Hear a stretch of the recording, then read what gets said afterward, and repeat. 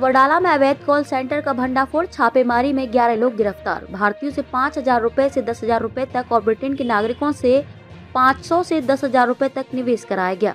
Wadala police ने विदेशी निवेश से करेंसी शेयर मुहैया कराने की आड़ में लोगों को ठगने के लिए अवैध कॉल सेंटर चलाने के आरोप में ग्यारह लोगों को गिरफ़्तार किया है। पुलिस ने कहा कि चार संदिग्ध फरार हैं।